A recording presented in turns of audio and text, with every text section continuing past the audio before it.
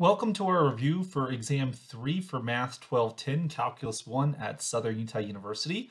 As usual, I'll be your professor today, Dr. Andrew Misseldine. As we're studying for Exam 3, it's important to realize that this test is going to focus on derivatives. We saw derivatives a little bit on Exam 2, uh, but that was mostly just the definition of the derivative. In the exam three, we're going to be focusing on the on some applications of the derivative. We'll see some more on the next exam, but this test will look at applications to science and related rates problems. Uh, but we will also this this test will predominantly be focusing on techniques of computing derivatives, so like the power rule, the chain rule, the product rule, and things like that. The structure and policies and procedures for this exam will essentially be the same as with the previous two exams. Now, some of those details do change from semester to semester. So if you have questions about the dates of the exam, time limits, calculator use, and any other policies like that, I would ref refer to you to the course syllabus, uh, which can be found on Canvas. This test will have 15 questions. 10 of them will be in the multiple choice section. The multiple choice section uh, each of those questions are worth five points each. You'll select the single correct answer, and full credit will only be given uh, upon selecting the correct answer. If you select anything else or you don't clearly select anything, uh, you would get no credit on those ones. Uh, the last five questions, 11 through 15, are in the free response section. These are questions which you must show all of your work. Uh, a final answer is not good enough. That'll get you essentially no credit. Uh, you have to show all of the appropriate work on those questions. Most of them are worth 10 points, uh, but there's also uh, one question 12 is worth 8 points. There is a 16th question, but this is just a reminder here to turn in your uh, note card with this exam. So let's get into the details of this test. Uh, like I said, specifically, this exam is going to cover the topics about derivatives and such. The topics of this exam will coincide with chapter 3 of James Stewart's calculus textbook, which with our lecture series that coincides with lectures 19 through 30. So like I mentioned earlier, this will cover uh, all the different derivative rules we've learned about. So power rule, the product rule, the chain rule, the quotient rule, implicit differentiation, logarithmic differentiation. These are all techniques that'll be on there. We have to also be able to calculate the derivative of various function families like power functions, uh, exponential functions, logarithmic functions, trigonometric functions, hyperbolic functions. Uh, this test will also cover the derivatives of the inverse trigonometric functions. Um, I won't ask questions that require you know the derivative of the inverse hyperbolic functions. You do you do need to know the derivatives of the hyper, six hyperbolic functions, and you do need to know the derivatives of the six inverse trigonometric functions. But I will not require anyone memorize the derivatives of the six inverse hyperbolic functions. That's an important omission for this test. And like I also mentioned, this test will cover the topics of related rates and scientific applic scientific applications of rates of change. So let's look at the questions one by one to give you an expectation of what we need to be preparing for. So question number one, you see here that you're going to be asked to compute the derivative, in this case, of a polynomial function. Uh, when you get your version of the test, it might not actually be a polynomial, but this question will require the use of the power rule. Uh, the power rule, which we saw back in lecture 19, will be necessary for question number one. Question number two, you'll be asked to compute the limit of a trigonometric function. Before we learned about derivatives of trigonometric functions, we had to first learn about some trigonometric limits. This was necessary so that we could compute difference limits of difference quotients involving trigonometric functions. Uh, that's a necessary step to calculate the derivative of sine and cosine. So two limits you definitely need to know. These are ones that you should memorize. You need to know that the limit as theta approaches zero of sine theta over theta, you need to know that this is equal to one. That's gonna be very useful information. You should also know that the limit as theta approaches zero of cosine theta minus one over h, excuse me, over theta, this is likewise equal to zero. This is important information. These Both of these limits, sine theta over theta and cosine theta minus one over theta, both have the form zero over zero, but using some trigonometric forms, we can actually compute those. I don't expect you to know the derivation of these limits. You should just memorize them and use them to compute more complicated trigonometric limits like we see here in question number two. Um, if you need some more practice, please consult uh, lecture 21 to see more about some trigonometric limits. Question number three, you can see here in the practice test, uh, question number three is asking you to compute a second derivative. So here we have the function e to the x times cosine of x. You're asked to find the second derivative. That's what the notation here is all about. This is a second derivative. Now, what techniques will be necessary to compute this second derivative?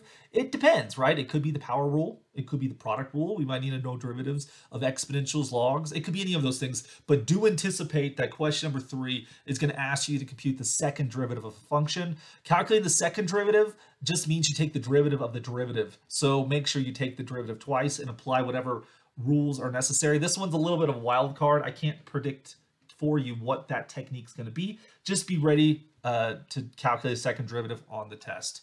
Question number four is going to involve inverse trigonometric functions to some degree. Uh, you see here you have to find the derivative of y equals sine inverse of the square root of sine. So can we compute the derivative of an inverse trigonometric function? We did learn about those, and like I mentioned on the previous slide, that you do need to know the six derivatives of the inverse trigonometric functions. We learned about them when we uh, when we did implicit differentiation, in particular, the lecture 25, which was the second lecture on implicit differentiation, demonstrates how you can compute and use the derivative of general inverse functions, but trigonometric inverses were included in lecture 25. So consult that one for some more examples. When you look at example number five, question number five, I should say, you this one's asking you to take the derivative of e to the x times the natural log of x. What you will need on question number five is knowledge of the product rule. So be able to compute a derivative of a product. Now, in this example, you need to also know how to take the derivative of exponentials and logarithms, but there are lots of different product functions that you could use. Um, while the product rule will be guaranteed, other techniques uh, like logarithms, maybe the power function, trig functions could be showing up. So you really need to know all of these techniques, but I've made sure that all of the bases are covered. So there will be a question about the product rule, and that will be question number five. The product rule was introduced in lecture 20 in our series. Question number six, you look at this one, and if you're thinking along how we did with question number five, this is a question that's going to involve the quotient rule. This question right here is we have to take the derivative of a fraction, e to the x divided by x squared plus 2x. So in addition to the quotient rule, and so this is our typical low d high minus high d low square the bottom, here we go. Uh, you should know the quotient rule, and by all means use the poem to help you remember it. The quotient rule is also introduced in lecture 20, right after the product rule. You will need to know the quotient rule for this test. Question number seven, which we can still see on the screen here. This is a question that will involve the chain rule to some degree. There are other questions that'll definitely use the chain rule, but question number seven will require the chain rule. We see in this one that we're taking the derivative of e to the x squared. There are two functions in play, uh, one inside the other, and because of that composition of functions, the chain rule is necessary. Um, this example also points out that we have to know how to take the derivative of any exponential. We definitely need to know how to take the derivative of a of the natural exponential. The derivative of e to the x, of course, is itself.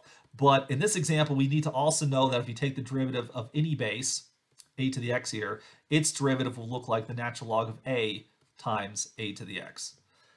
Uh, both the this exponential rule and the and the chain rule were introduced in lectures 22 and 23. 22 and 23 were about the about the chain rule. In lecture 23, we also use the chain rule to compute the derivative of an arbitrary exponential function, which is necessary in this question. Now, that might not be the case for your version of exam of this exam. Question seven might not require exponentials at all. But one, question number seven will use the chain rule. I can promise you that. And then two, there probably will be a question that uses the derivative of an exponential, whether it's the natural exponential or uh, 2 to the x, 3 to the x, doesn't matter. You should know that one. Question number eight uh, will be a question involves trigonometric derivatives. We talked about trigonometric limits earlier, but we have to also compute the derivatives of trigonometric functions. And as a reminder, the trigonometric derivatives were talked about earlier in section 21. Um, question number eight. No, I want you to note here that this gives you a slightly different phrasing of essentially the same question. A lot of the questions were like, find the derivative, okay? But some variations of that would be things like the following. Find the slope of the tangent line of a function, which this function is given as a trigonometric function at a specific point. So the fact that the function is trigonometric is why the trigonometric derivatives is appropriate here. But the other thing to point out here is that the slope of the tangent line is the derivative. So we're not looking for the derivative in general. We don't want the general formula. We're looking for a specific evaluation of the derivative. It's going to be a specific number, A, B, C, D, E here, or it could be it's a, if it's a vertical tangent line, then the slope might be undefined so f might be a possibility there. But it's important to know that the the slope of the tangent line is the derivative. So even though it's phrased as tangent lines and slope, we're looking for derivatives. Um, another question could be phrased in such a way that f of x is some motion function it's a motion function, and then you're asked to find the velocity of that motion function. Well, velocity is the derivative of the position function. Therefore, knowing that vocabulary tells you you need to take a derivative. So look at look for some of these variations. Pretty much all these questions are asking you to calculate a derivative for the most part. Um, so look for look for the variation in vocabulary there. Question number nine will ask you something about hyperbolic functions. Okay, so this one is asking for the limit of hyperbolic secant as x approaches infinity. So this is just a limit calculation. But as we covered everything about hyperbolic functions in one lecture, we introduced the hyperbolic functions, we did limits, we did derivatives of these things. Question number nine will ask you something about hyperbolic functions. It could just be like, what is sinh of one? You know, that, that could be just evaluate it. This one could be a limit calculation, or most likely you'll be asked to compute a derivative of a hyperbolic function. It's important to remember that the derivative of sinh is going to equal cosh. The derivative of cosh, I need to put an x in there, is equal to sinh. And then the other four, you have hyperbolic tangent, cotangent, secant, and cosecant as well. You can calculate their derivatives using the using of course the quotient rule using these two observations. It's probably best just memorizing them or putting them on some approved note card if you're allowed that for your test. So be prepared to do that. Lecture 30 is the lecture that we talked about hyperbolic functions. Like I mentioned earlier, uh, I will not require you have any memorized information about the inverse hyperbolic functions. My philosophy is if you can do well with the inverse trigonometric functions and you can do well with the hyperbolic functions and put those together, you could do something with inverse hyperbolic uh, if necessary, but I won't require that. Now, there is one potential exception to that idea about inverse hyperbolics that I'll talk about later when it comes up. You don't have to worry about it in the multiple choice at least. And then question 10 is the last question, the multiple choice section. This will be a question that requires you to take the derivative of a logarithm. So it's important to remember the derivative of the natural log is going to equal 1 over x. And in fact, if we take the derivative of the natural log of the absolute value of x, that likewise is 1 over x. There is, a, of course, a domain difference there. And in general, if we take the derivative of the log base a of the absolute value of x, that's going to equal 1 over the natural log of a times x. Uh, of course, this could also involve the chain rule, like this example happens here, uh, demonstrates here. Um, also, look at some variations of the question. This one doesn't ask for the formula. It wants you to evaluate the derivative at zero. So what's the y-intercept of the derivative? So there, there could be different ways of phrasing these questions, but for the most part, these multiple choice questions will ask you to compute the derivative of various function families using various derivative rules that we developed in Unit 3 of our course. Moving on to the free response section, question number 11 is going to ask you to provide the proof of some derivative rule of some kind. So for example, this one gives us a, gives us the question, can we compute, or it, it tells us the derivative of cosecant is negative cotangent uh, cosecant.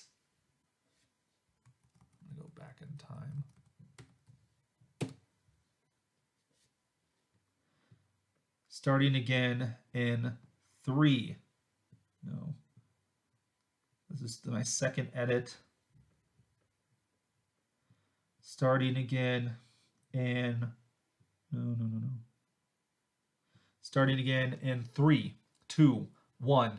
I should mention that the topic of derivatives of logarithms was introduced in lecture 26. Please consult that one if you need some more practice.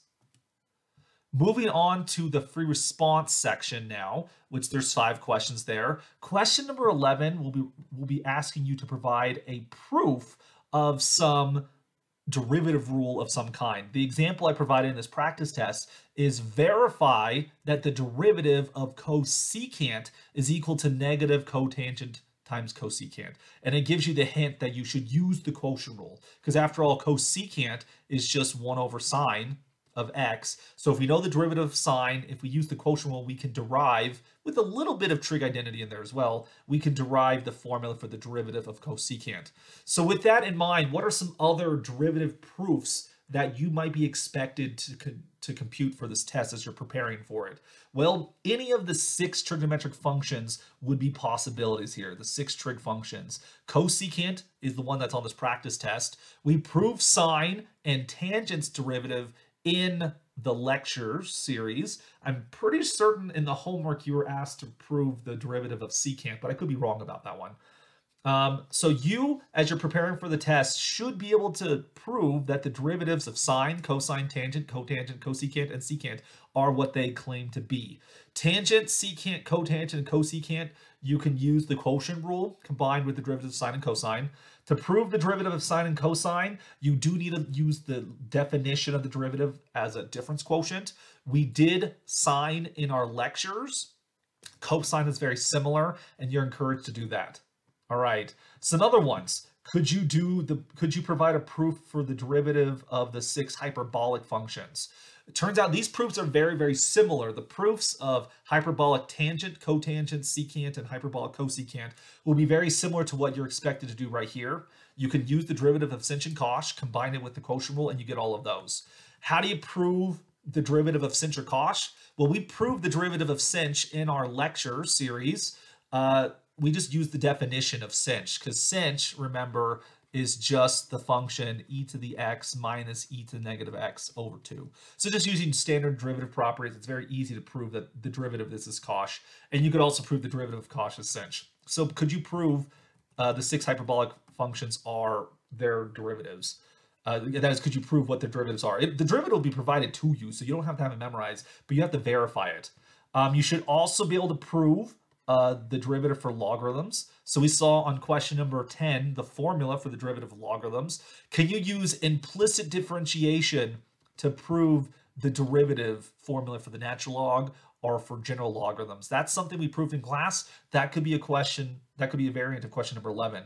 Similar, can you do the inverse trigonometric functions? Inverse trig. Um, also, could you do the inverse hyperbolic functions?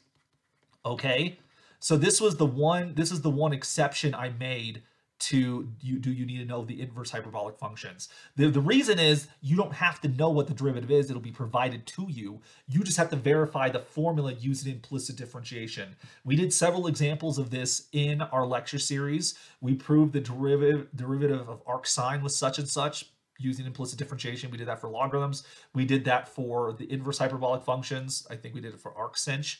So you should be able to replicate one of those. Because if I give you the formula for the inverse of hyperbolic secant, even though the formula is like whatever it is, don't worry about it, you don't have to have it memorized, the derivation of which is the same strategy using implicit differentiation. The idea is if your function f of x equals y, you can switch it to, in, to implicit differentiation, so x equals f inverse of y. Um, then you take the derivative, or if you start with the inverse, go the other way. It, it, doesn't really matter who's f and who's f inverse, but to take the derivative implicitly and then solve for the derivative of the function you need. That's the general strategy. Um, some other things that you should be able to do. Could you prove the power rule using logarithmic differentiation? That's something we did in our lecture series. Could you prove the quotient rule by combining the product rule and the chain rule together? I will not expect you to to pr prove the chain rule. I will not expect you to prove the product rule, although we did see the proofs of both of those in our lecture series. Those ones are a little bit more intense. Um, the power rule, if you use logarithmic differentiation, is fairly straightforward. We did that one in class. You should be able to reproduce one of those type of proofs for question number 11. So there are a lot of different uh, lectures you could consult for this one. Uh, so I, I mean, I guess I could try to write them all down, but we saw some of these in lecture 21 excuse me, uh, lecture. Yeah, we did see that in 21 about trigonomet trigonometric functions. That's a good one to look at. Um, you should also take a look at lecture 25 about implicit differentiation. Um, I would also include 26 about logarithmic differentiation and definitely 30 about hyperbolics. That's where most of those are going to come from. But uh, like the derivative, the proof of the quotient rule is actually in a different lecture that's not listed right here. Let's move on to question number 12. We talked a lot about 11 right there. 11, 11 is sort of a sticky one for many students, understandably, which is which is important. that The test isn't going to only be easy questions. You have to have easy, easy questions, moderate questions, and difficult questions so that I, as the grader, can really gauge you as a student how much knowledge you have. If I only give you easy questions, then I won't be able to tell the difference between a C, B, and A student. I'd only be able to tell the difference between passing students and failing students. But as I have to differentiate between those who pass as A, B, and C, I need some various ranging questions. So do prepare for those. Do do your best you can. Don't don't don't sell yourself short, right? You know, you can do hard things. I know you can. So still study them. Uh, question number 12. This is going to be a question uh, related to the topics we saw in lecture 27 about rates of change in scientific applications. Two examples that are extremely important to know is the position motion problem that we've talked about before. So remember that if you have your position function, s of t, um, its derivative is going to be velocity. So velocity is the first derivative of position. You should also know that acceleration is going to be the derivative of velocity and hence is the second derivative of position. That's what this version of question 12 is going through. Um, it's asking things about uh, position, velocity, and acceleration. So if you have to compute the acceleration of the position function, what does that mean? Um, what intervals is the thing moving forward? Where is it backwards? So pay attention to things like that. Is it speeding up? Is it slowing down? There's various questions in the homework that are related to that, so prepare for that accordingly. Um, so this motion problem is a very important problem to know. Be aware of that. Some other vocabulary you should also be aware of is with economics. You have things like revenue. So remember that revenue is going to equal uh, the, the, the quantity times the price, right? Cost, uh, profit, let's say that one, profit is equal, of course, to revenue take away cost. Those are things you should know. Um, and then also in economic problems, if I use the word marginal, marginal revenue means the derivative of revenue. Marginal cost means the derivative of cost. Marginal profit means the derivative of profit. You get the idea. Uh, in an economic sense, marginal is a synonym for derivatives. That's something you should be expected to know. Um, this question number eight is not going to be too difficult uh, because, it, I mean, I only gave it eight points for a reason. The actual calculations are are not going to be too difficult. It just comes down to interpretation. Knowing that acceleration is the second derivative of position is an important interpretation you need to know as you're preparing for question 12. These were questions we saw in lecture 27. I already mentioned that one. All right, next page.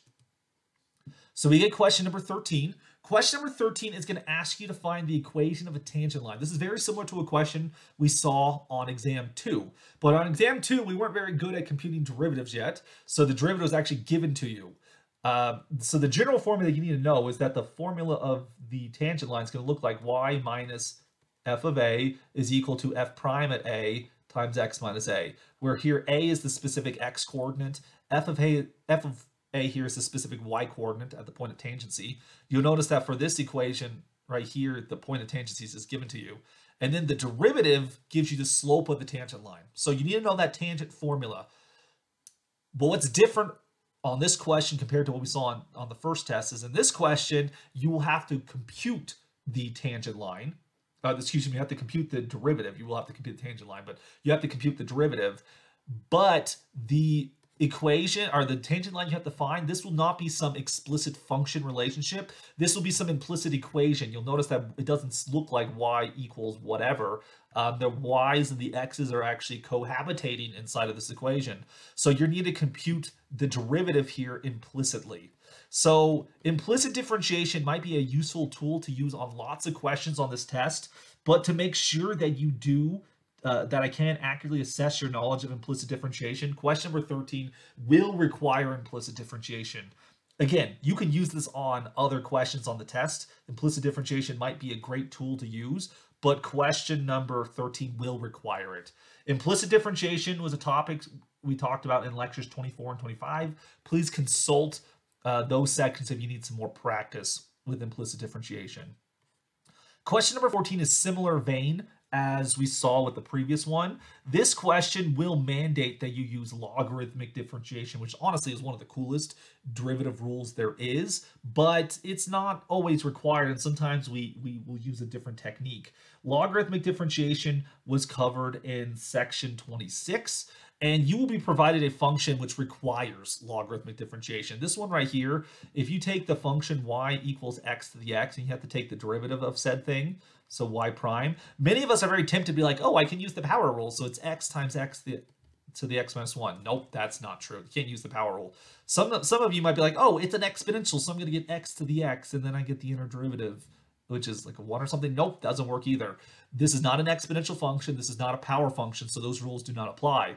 This function right here is some type of power exponential function. It's a hybrid between the two. It's kind of like in StarCraft 2 when you take the hybrid of the Protoss and the Zerg. It's neither of them. It's the combination of the two. So those rules do not apply. Logarithmic differentiation is the only technique that we have learned that would apply to this power exponential function. So you do need to use it, and it is mandated that you use it on this one. Okay, and honestly, it's the best technique to use for this one anyways. And I would, I, by all means, I would recommend, if appropriate, use logarithmic differentiation on any of the previous questions. Uh, use it on the multiple choice section. It's, it's a good technique, but question number 14 will require its usage. Now we arrive to the last question on the test. If you've noticed that one topic has been missed so far, this is that topic. Question number 15 will be about related rates, which is one of the last topics we learned about in Unit 3. Uh, related rates were talked about in lectures 28 and 29. Um, in which case, you'll be given some type of story problem for which you'll be given some information about quantities. Uh, you'll be given some information about their derivatives, the rates of change, and then you'll have to then infer information about an unknown rate of change. So you have to solve for some derivative here. Now, what type of story problems should you be prepared for as we're getting ready for this test? We'll look at examples similar to the lecture notes and to the homework. I'm not saying this question will be identical to those, but it'll be a similar style. A lot of these questions have a very geometric flair to it. So you look at something like this, I see this triangle here, so this makes me think of like the Pythagorean equation. That is sometimes a useful identity. I'm not saying that's necessary for this question. Um, you might need to make a, an argument using similar triangles. Uh, that is a very important technique for various uh, for various calculus students, us basically. Um, you might have some other type of trigonometric ratio going on. Maybe a tangent argument, a sine argument, what have you. We probably only want to use sine, cosine, tangent if we know something about the angle or we want to know something about the angle. But the Pythagorean identity, uh, similar triangles is useful. You should know like the area of a triangle, one half base times height. Uh, you should, of course, know, you should basically know all of the basic area formulas. How do you find the area of a square or rectangle? How do you find the area of a circle? Those are things you should know. In fact, with some of those water tank filling problems we did, that's that's a possibility for this test. Um, we might have to do a little bit more exotic things, like we had to find the area of the, an isosceles trapezoid. I mean, that wasn't too horrible. We basically dissected into uh, triangles and quadrilaterals, what have you.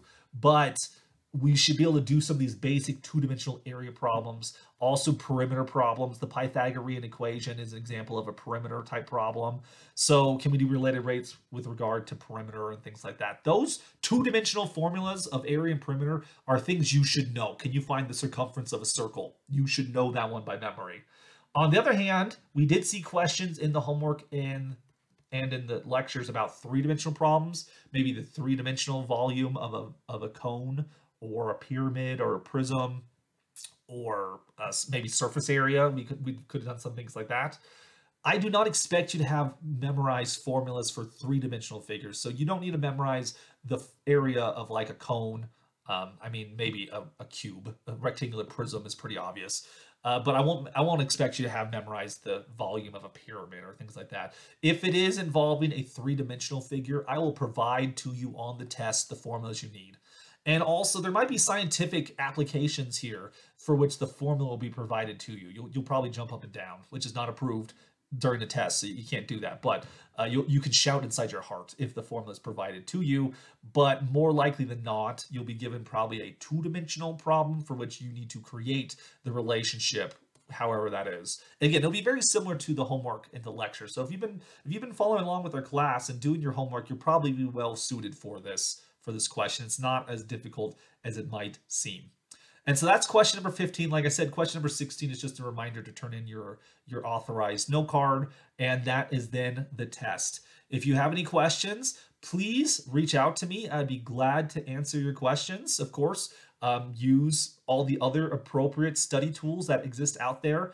Uh, you know, your, your notes, the textbook, the lecture notes and lecture videos, the tutoring center, form study groups. There are lots of things you can do. And if you're not sure how to study for this test, then please reach out for me with those questions, right? This is our third exam. So we've taken other exams in this class, so we kind of know what to expect. But some of us have had the realization by now that what we have been doing for the test isn't good. I mean, if you're getting good grades on the, on the test, then keep it up. Do what you're doing. But if you have struggled to get the grades you want on this test, it's not too late to course correct. We do have one more midterm after this and then the final exam. So there's a lot of points available still in the course uh, please reach out to me and I would be glad to help you offer some study uh, tips and suggestions, strategies you could use to better prepare for this exam. I can only help you as much as you're willing to ask. So please ask, and I'm glad to help you. All right, so that'll then conclude our review for exam number three. Please consult some of the other study resources on Canvas, the exam syllabus, the, the practice test itself, uh, the solutions to the practice test to help you with your studies. Best of luck, everyone. Bye.